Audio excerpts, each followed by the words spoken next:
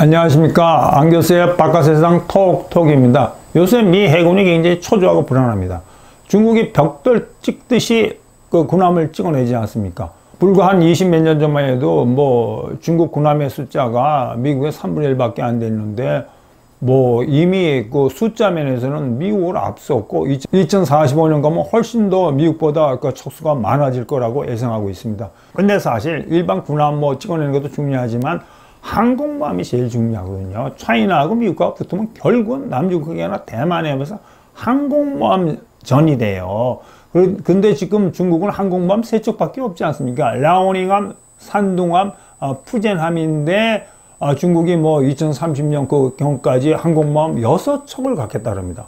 자, 그런데 항공모함 전력으로 보면은 어, 미국은 항공모함이 11척이기 때문에 여러분이 생각에 뭐 미국이 11척 대 중국이 6척 미국이 압도적으로 항공모함 숫자가 많으니까 아 뭐 전혀 논어리 우려할 거 없다고 생각할 수 있는데 이건 그게 아니죠. 미국 해군이 초조한 속사정은 저 사진을 보시면 알 수 있어요. 저거는 US 그 NI 뉴스에 나온 건데 미 해군 관계 그 연구원 뉴스에 나온 건데 열흘 전인 6월 24일 현재 미 항모전단이 전 세계에 어떻게 배치되어 있나를 나타내는 겁니다. 우선 이렇게 보면 우리나라 한반도 부산에 한반도 부산에 아, 미국의 항모 루즈벨트 함이 있고 그 다음에 괌에 레이건 항모전단이 있습니다. 그 다음에 이제 지중호 쪽에 어, 아이젠호 항모 전단이 있고 페루 앞바다에 어, 워싱턴 항모 전단이 있어요. 어, 구체적으로 좀 설명을 드리면 아이젠호 항모는 지난 홍해에서 후티 반군을 이렇게 장난 그 후티 반군이 뭐 이렇게 개판 치는 거 막으려고 한 7개월 동안 작전하다가 이 수에즈 운하를 거쳐서 지금 뭐 크레타 섬 지중해 쪽으로 왔다 갔다 하고 있답니다. 이제 거기를 거쳐갖고 어, 미국의 동부에 버지니아의 노폭 해군 기지에 가서 이제 이 유지 보수하려고 가고 있고 그 다음에 그 시어도어 루즈벨트함은 이제 한미일 합동 군사 훈련을 위해서 이제 부산항에 왔다가 임무를 마치고 지금 그 아까 말씀드린 그 아이제너 함의 후속 임무를 하기 위해서 지금 이 중동 지역으로 가고 있어요.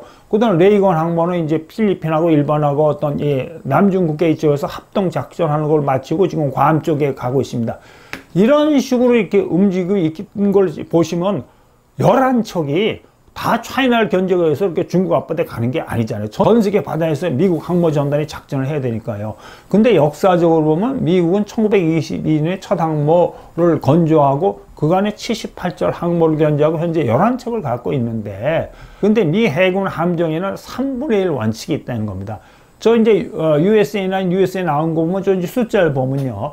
미국의 total battle force 어, 전투함이 296척인데 그 중에서 지금 deployed 작전 중인 어, 전투함이 113척이고 언더웨이 뭐 이렇게 이 유지 보수하거나 이동 중인 그 전투함이 82척입니다.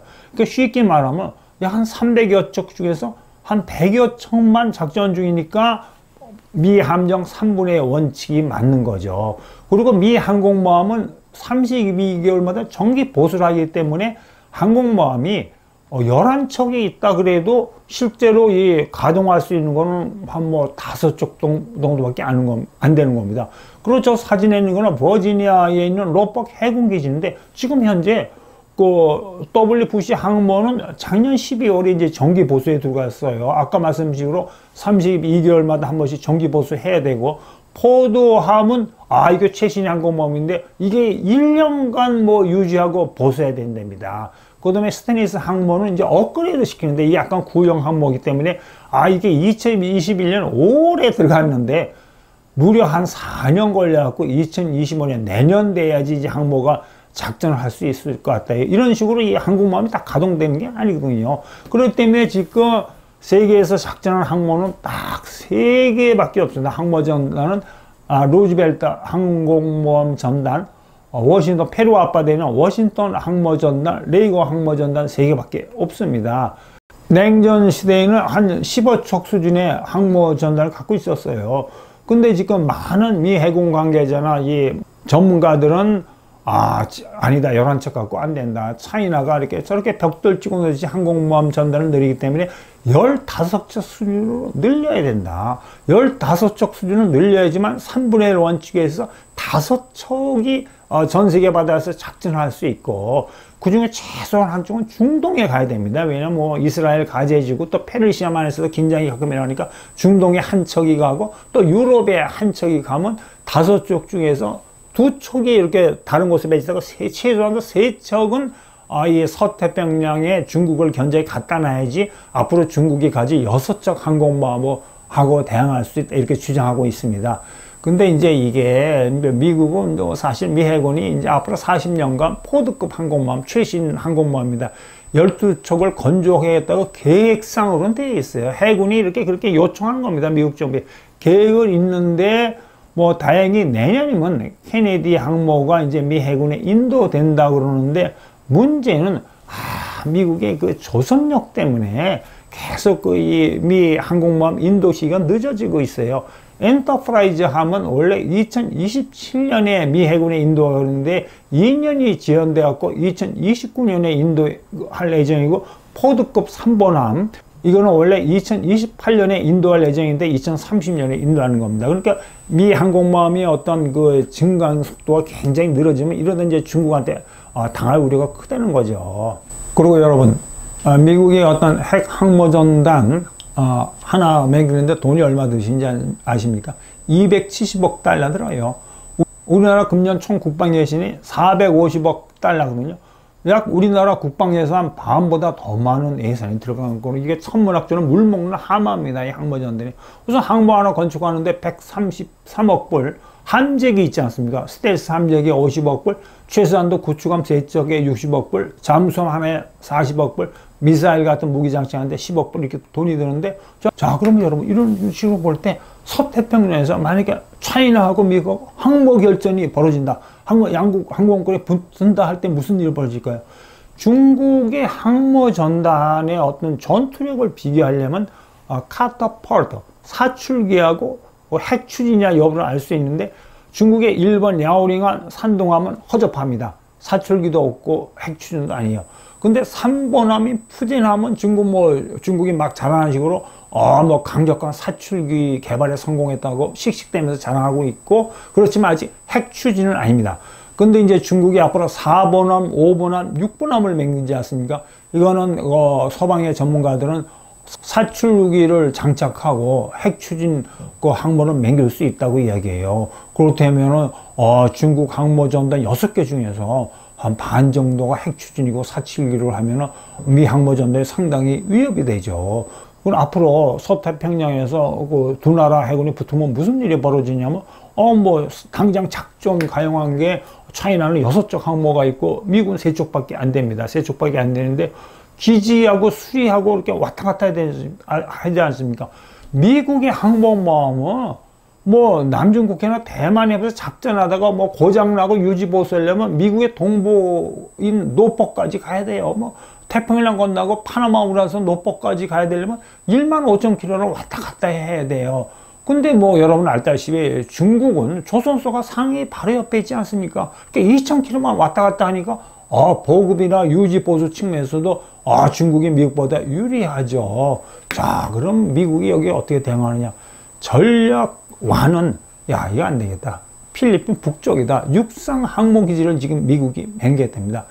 필리핀 전임 대통령이 있을 때는 뭐 중국과 가까워갖고 뭐 베이징한테 딸랑딸랑 거리는데 요, 요새 이게 남중 국계에서 영토 분쟁 때문에 뭐 세칸 토마스에 있는 필리핀 해안 초소에 보급하러 가는 필리핀 해경선을 중국 해경선에 물대포스가 나니까 마닐라가 완전 확 화가 나가지고 미국 쪽으로 확 뜯어버리거든요. 그리고 작년에 파격적으로 필리핀 그 루손선 북쪽에 네 개 군사기지를 미국이 그, 그 사용하도록 허가했습니다. 이거는 남중국의 세력 분쟁에서 파격적인 거거든요.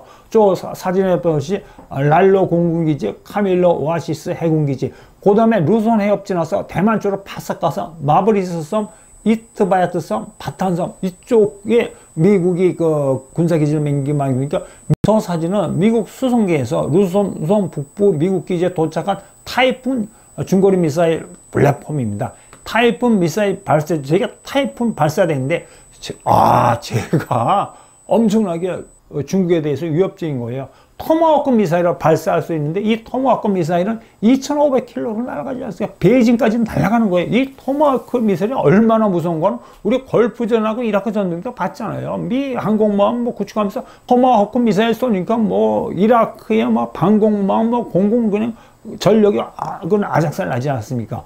그 다음에 이제 두 번째 무서운, 무서운 게 필리핀 북부 군사기지 SM6 아까 말한 그이 어, 등폭 미사일, 요격 미사일을 이 타이푼 미사일 발사가 쏠 수 있어요. 그 다음에 미국이 가진 최신 병기가 다크입니다. 요거는 급초음속 미사일인데 요거는 쉽게 말해서 이게 뭐 한반도에 배치하면 평양을 90초 만에 타격할 수 있다는 건데 이 다크 이글 미사일도 루손섬 북부에 배치하겠다는 겁니다. 자, 근데 이게 뭐냐면 이게 파격적인 게 왜냐면요. 이 냉전이 끝나고 나서 소련이 멸망하고 나서 이 중거리 미사일을 미국이 아시아 태평양 쪽에서 다 이렇게 철수시켰어요. 근데 하도 중국의 위협, 특히 둥펑 미사일 갖고 날려치고 항공모함 찍어내니까 처음으로 냉전 후에 처음으로 어, 이 필리핀에다가 아시아 태평양 지역에 어, 중거리 미사일 시스템을 배치하는 거고, 그 다음에 이 같은 미사일 방어망, 미사일 공격망만이 강화하는 게 아니고 미 해병대 있지 않습니까? 어, 얼마 전에 미 해병대 1만 명이 필리핀 5천 명하고 합동 상륙작전 훈련, 뭐 대만을 중국이 점령하고 탈환 훈련 이런 걸 했는데 이게 어디서 했냐면 여러분 저 사진에서 보는 마브리스 섬하고 아, 이트 바야트 섬에서 했어요. 바로 대만 코앞에서 이런 미 해병대하고 필리핀군이 합동 훈련했습니다. 근데 이거는 완전히 대만 이슈에서 굉장히 민감한 게 오키나와의 이 가데나 미군 그 공군기지 있지 않습니까? 이게 대만까지 600km인데 아까 말한 바짝 필리핀 북부에 있는 그 섬들에서 대만까지는 400km예요. 그러니까 실질적으로 필리핀 북부에 육상 항모기지가 하나 생기는 거죠. 그 다음에 이제 두 번째 미국이 어떤 항공모함에서 전략적인 약점을 보완하려는 게 K조선입니다. 이 K조선이 미 해군의 구원투수예요. 아까 말씀드린 식으로 버지니아 로폭에서 좀뭐 유지 보수하는데 뭐, 뭐 2년 더 길게 나고 그러지 않습니까? 그런데 우리 K조선하면 특징이 뭐죠? 빨리빨리 하는 거지 않습니까? 그리고 이 가성비도 미국 조선소보다 굉장히 좋거든요. 그러니까 카롤로스 토로 해군 장관이 우리나라에 와서 남해에 있는 조선소 돌아보고 뭐 미국 군함은 건져 못합니다. 미국의 존슨 액트 때문에 아이 미국 그 항공모함은 유지 보수하는 가능성을 그 알아봤는데 이 세계에서 이런 미국의 어떤 어려움을 도와줄 수 있는 유일한 나라는 대한민국의 K조선밖에 없어요. 왜냐하면 중국이 저렇게 막 미국을 따라잡는 거는 중국의 세계 최대의 조선 국가거든요. 세계 조선 수지의 50%를 중국이 먹어요. 근데 우리 K조선이 30%로 바싹 따라가죠. 근데 여러분 생각에 뭐 중국이 50 먹고 우리 30이면 야 우리 2등 아니냐 아니에요. 실질적으로 우리 1등이에요. 중국이 조선 수자는 허접한 뭐 이렇게 가성비가 낮아 벌크선, 유조선 이런 거 먹고 우리는 가성비가 높은 LNG 캐리어, 그 다음에 LNG 추진선 이런 거를 먹기 때문에 아 우리나라 조선소가 유지 보수해 주겠다고 그러고 미국이 이거를 허락하면은 세 가지 결정적인 강점이 있죠. 이지삼 최첨단 군함을 맹긴 경험이 있잖아. 이것도 한두 척이 아니고 여러 척을요. 그 다음에 잠수함도 건조해봤고 우리나라가 발달한 게 뭡니까? IT 산업이잖아요. 어, 우리나라 K조선의 어떤 역량력은 CNN도 인정했습니다. 세계 최고의 이지스함은 어, 미국의 made in USA가 아니고 세종대왕 함이라고 이렇게 한 기사가 났습니다. 그 다음에 세 번째 전략은 미국 혼자 힘으로 안 되니까 뭐 동맹과 함께 하자. 특히 일본이 Japan이죠.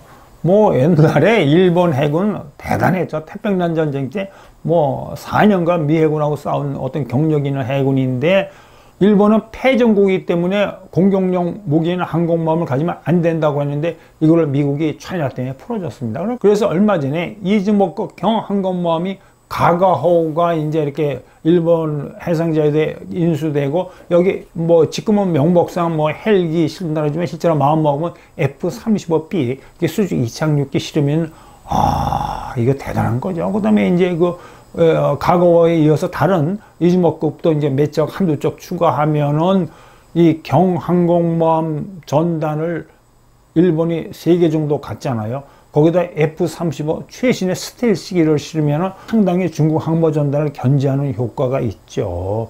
그 다음에 중국이 전투함이 자꾸 이렇게 필리핀 해역에 접근하니까 일본도 이동 레이더 기지를 필리핀 바다에 이렇게 뭐 설치하겠다 그러고 그 다음에 또 이제 일본 빼놓고 이제 이 호주죠. 호주도 중국의 팽창을 불안해 하니까 파격적으로 얼마 전에 미국이 호주의 핵잠수함 기술을 이전해주고 호주 보고 핵잠수함 매길 하지 않습니까? 호주가 핵잠수함을 가지면 아, 중국 항모전단이 굉장히 위협적이 되는 거죠. 자, 그래서 말씀드리면 갈수록 치열해지는 미국과 차이나의 해군력 결정인데 만약에 뭐 이 해상에서 이렇게 뭐 컨플릭트가 갈등이 일어난다면은 대만하고 남중국해하고 이때 가장 중요한 역할을 하는 게 항공모함 전단이기 때문에 두 나라가 이 항공모함 전력의 증강에 굉장히 그 노력하고 있는 겁니다. 오늘은 여기까지 하겠습니다. 여러분 오늘 하루 만사 형통하십시오. 감사합니다.